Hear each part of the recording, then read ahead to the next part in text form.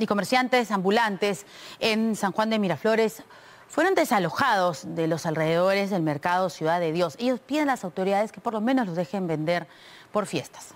¡Queremos trabajar! ¡Queremos trabajar! ¡Queremos trabajar! Son aproximadamente mil comerciantes ambulantes que piden a las autoridades poder trabajar hasta el 24 de diciembre para después abandonar las calles. Lo único que queremos acá es trabajar el 23 y el 24. El 24 vamos a trabajar hasta las, hasta las 9 de la noche, 8 de la noche, porque de ahí es toque de queda. No sé, mira, todos los comerciantes que acá tenemos.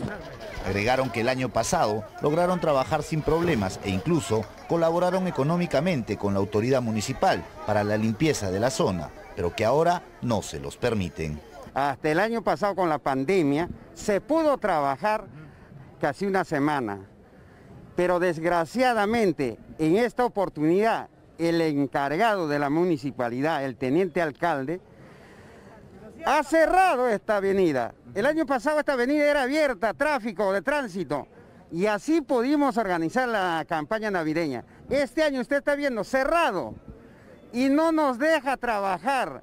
Ocupaban más de un carril, generando un peligro para los mismos este, eh, transeúntes, para los mismos eh, clientes que ellos tienen, ¿no? Porque ellos argumentan que eso solamente lo hacen en fin de año. No, no, no, no ha sido así. Es más, el día que nosotros hemos ingresado ya estaba colapsando el carril eh, de bajada, ¿no? Informaron además que se les propuso reubicación en otra zona, pero la respuesta de los comerciantes ambulantes fue negativa. Se ha establecido un proceso, primero de poder reubicarlos. Es por eso que existe una feria ahí cerca, en El Brillante, pero son renuentes en participar, son renuentes en respetar disposiciones y peor ni siquiera cumplen los riesgos mínimos.